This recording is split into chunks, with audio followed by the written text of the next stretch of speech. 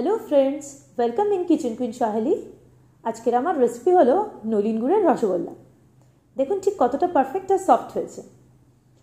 সমস্তটা রস বেরিয়ে যাওয়ার পরেও কিন্তু রসগোল্লা ঠিক একইভাবে আবার বাউন্স করে গোল হয়ে যাচ্ছে। কোনো ফাটল বা ভেঙে যাওয়ার কিন্তু ব্যাপার নেই। এই থেকে বুঝতে পারবেন রসগোল্লা পারফেক্ট হয়েছে। আসলে কিছু টিপস আর ট্রিক্স জানলেই কিন্তু রসগোল্লা পারফেক্ট বানানো যায়। ঠিক তার জন্যই কিন্তু আজকের এই রেসিপি তবে রেসিপি শুরু করার আগে আমার চ্যানেলটিকে এক্ষুনি সাবস্ক্রাইব করে নিন আর সাথে বেল আইকনটিও প্রেস করে দিন। প্রথমে আমি এক লিটার দুধ, জাল বসিয়েছি, ছানা কেটে নেব বলে। আমি এখানে কিন্তু রেগুলার যে তাজা প্যাকেটের দুধটা পাওয়া যায়, সেই দুধটাই ব্যবহার করেছি। আপনারা ফুল ক্রিম দুধ নিতে পারেন, সেটা নিলে আরও ভালো হয়। দুধটা যেই এক ফুট দিতে শুরু করল, আমি ফ্লেমটা বন্ধ করে দিলাম। এবার আমি একটা লেবু রস করেই রেখেছিলাম, সেটা অল্প অল্প মিশিয়ে ছানা কেটে নিচ্ছি। অল্প অল্পই মেশাবেন, একবারে বেশি মেশাবেন না। কারণ ছানা যদি বেশি টক হয়ে যায়, তাহলে কিন্তু ছানার কোয়ালিটি ভালো হয় না। আর সেক্ষেত্রে মিষ্টিও কিন্তু ভালো হবে না। ঠিক যতটুকু লাগবে, ততটুকু মিশিয়ে মিশিয়ে ছানাটা তৈরি করে নিচ্ছি। আপনারা চাইলে ছানার পাউডার দিয়েও ছানা কাটতে পারেন। দেখুন, আমার কিন্তু পুরো রসটাই লেগে গেল, ছানা কেটেও গেছে। এবারে ছানাটা গরম থাকতে থাকতেই আমি একটা সাদা কাপড়ে ছানাটাকে ছেঁকে নিচ্ছি। এক্ষেত্রে সাদা কাপড়ই ব্যবহার করবেন। কারণ ছানাটা গরম আছে, আর সাথে লেবুর টক ব্যাপারটাও রয়েছে, তার জন্য কিন্তু কোনো রঙিন কাপড় দিলে রঙিনের রঙিন কাপড়ের রঙটা ছেড়ে যাবে, আর সেক্ষেত্রে ছানার রঙটাও সেই রকম হয়ে যাবে। তাই সাদা কাপড়ই অবশ্যই ব্যবহার করবেন। তারপর আমি ফ্রেশ জল দিয়ে ছানাটাকে ভালো করে ধুয়ে নিচ্ছি, এটাও খুব ইম্পর্ট্যান্ট। নাহলে কিন্তু ছানা যদি টকসা থেকে যায়, তাহলে কিন্তু রসগোল্লায় রস ঢুকবে না। এইভাবে আমি হাত দিয়ে চেপে চেপে ভালো করে ছানাগুলোকে ধুয়ে নিলাম।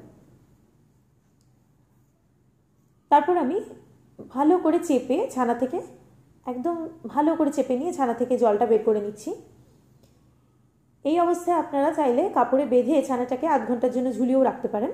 কিন্তু আমি সময় ছিল না বলে এইভাবে চেপে বার করে নিচ্ছি। খুব ভালো করে চেপে বার করলেও হয়ে যাবে। আমি ভিডিওটি কাটিনি আপনাদের বোঝানোর জন্য। যতটা ভালো করে চেপে বের করা সম্ভব জলটা বের করে ফেলবেন তারপর আমি একটা মিক্সির বাটিতে ছানাটাকে দিয়ে এক মিনিট একটু মিক্সিতে গ্রাইন্ড করে নেব। এতে করে ছানার বড় দানাগুলো আমার ভেঙে যাবে। আর পরবর্তীকালে আমার মাখবার সময় ছানাটা মাখতে গিয়ে আমার কিছুটা কাজ কমবে। দেখুন, আমার হাতে কোনো জল আসছে না, তার মানে কিন্তু ছানা থেকে ভালো মতন জলটা ছেঁকে নেওয়া হয়েছিল। যদি এই পরিস্থিতিতে আপনারা জল পান হাতে, তাহলে একটু ফ্যান খুলে ফ্যানের তলায় রাখবেন ছানাটা, তাহলে দেখবেন ছানা শুকিয়ে যাবে। এবারে আমি হাতের তালু দিয়ে এইভাবে চাপ দিয়ে দিয়ে ছানাটাকে ভালো করে মেখে নিচ্ছি। দেখুন, আমি প্রায় আধ ঘণ্টা মতন মেখেছি। তারপরে দেখুন, আমার হাতে কিন্তু তেল চলে এসছে।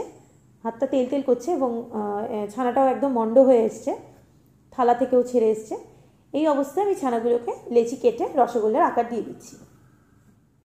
গোল্লাগুলো বানানোর সময় লক্ষ্য রাখবেন গোল্লায় যেন কোনো ফাটল না থাকে, এইভাবে হাতের তালু দিয়ে চাপ দিয়ে দিয়ে গোল্লাগুলোকে মসৃণ করে নেবেন।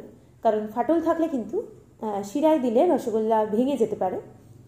ঠিক এইভাবে মসৃণ করে নেবেন রসগোল্লাগুলোকে।